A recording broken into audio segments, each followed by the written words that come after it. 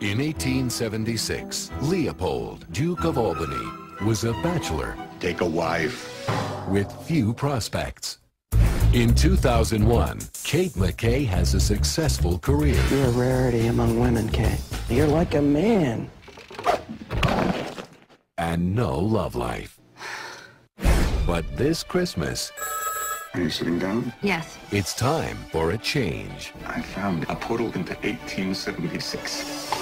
I followed the Duke of Albany around old New York. Here's the kicker.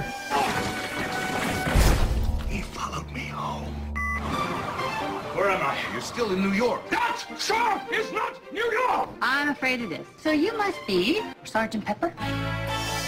Someone has to keep an eye on him. You're a trip. He doesn't know our customs. Why are you standing? I'm accustomed to stand when a lady leaves the table. Are you going to remove that?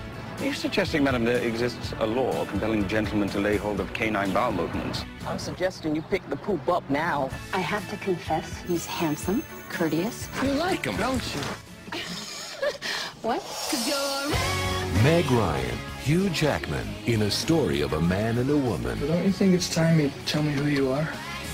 I am the man who loves your sister. who refused to let a few centuries come between them. You have to go back. I want more of this. More 1876. Kate and Leopold. Now